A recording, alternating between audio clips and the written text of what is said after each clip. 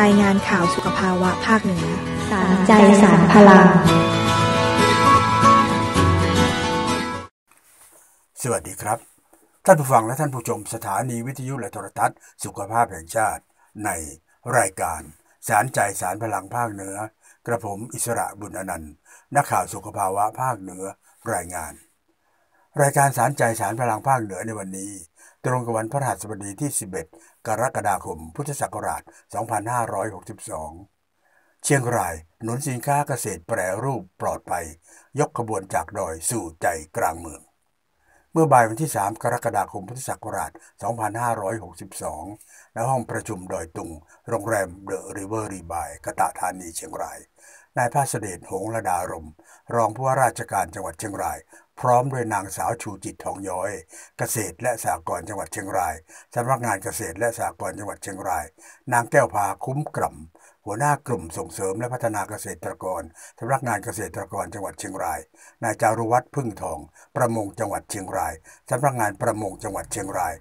นายนพพรมหากันธาปศุสัตว์จังหวัดเชียงราย สำนักงานปศุสัตว์จังหวัดเชียงราย ร่วมแถลงความพร้อมในการจัดมหกรรมสินค้าเกษตร และอาหาร ปลอดภัยจังหวัดเชียงราย ซึ่งมีกำหนดจัดขึ้นในระหว่างวันที่ 11 ถึง 15 กรกฎาคม พุทธศักราช 2562 นี้ ที่ศูนย์การค้าเซ็นทรัลพาซาถนนแจ้งวัฒนะอำเภอปากเกร็ดจังหวัดนนทบุรี ตั้งแต่เวลา 10 นาฬิกาถึง 20 นาฬิกาก็โดยจังหวัดเชียงรายของเรานี้ก็มีแนวทาง ในการพัฒนาที่สำคัญที่สุด ในการที่จะเป็นเมืองเกษตรกรรม สีเขียวและก็ อาหารปลอดภัย โดยการพัฒนาศักยภาพตัวเกษตรกร และก็ตัวสินค้าเกษตรที่สำคัญของจังหวัด ทางด้านการพัฒนากระบวนการผลิต การแปรรูปและการตลาด เพื่อจะให้จังหวัดเชียงราย เป็นแหล่งผลิตสินค้าเกษตรที่มีคุณภาพได้มาตรฐาน มีความสามารถในการแข่งขัน ทันต่อสถานการณ์และก็สอดรับกับความต้องการของผู้บริโภค ทั้งในและก็ต่างประเทศ ก็ตลอดจนสร้างการรับรู้ประชาสัมพันธ์ และก็ส่งเสริมการตลาดสินค้าเกษตร และอาหารปลอดภัยของจังหวัดเชียงราย ให้รู้จักอย่างแพร่หลายด้วย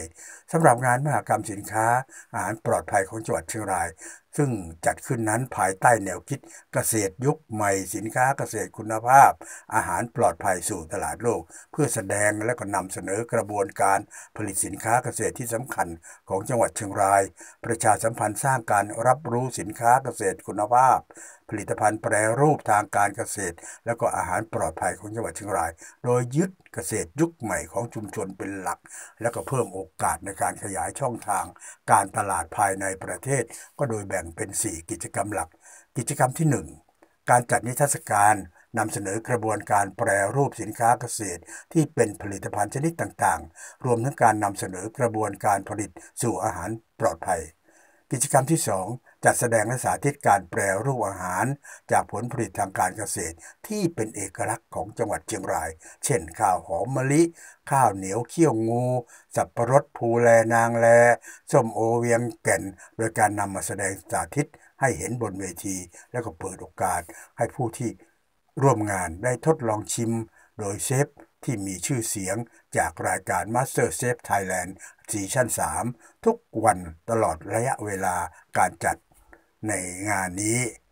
กิจกรรมที่ 3 ก็จัดจำหน่ายสินค้าและก็อาหารปลอดภัยจังหวัดเชียงรายมากกว่า 20 ร้านค้าที่ผ่านการคัดสรรมาอย่างดี และก็กิจกรรมที่ 4การเจรจาทางธุรกิจระหว่างเกษตรกร สถาบันเกษตรกร ผู้ประกอบการที่ผลิตและจัดจำหน่ายสินค้าเกษตรคุณภาพ และผู้ซื้อสินค้าด้วย อิสระบุญอนันต์ นักข่าวสุขภาวะภาคเหนือรายงาน สำหรับวันนี้ก็ขอขอบพระคุณท่านผู้ฟังและท่านผู้ชม ที่กรุณาให้เกียรติติดตามรับฟังรายการ จากสถานีวิทยุและโทรทัศน์สุขภาพแห่งชาติตลอดมานะครับ ก็ขอให้ท่านมีแต่ความสุข ความเจริญ และก็มีสุขภาพที่แข็งแรง ร่ำรวย ร่ำรวย ร่ำรวย แล้วก็ร่ำรวยกันทุกทุกท่านเลยนะครับ สวัสดีครับ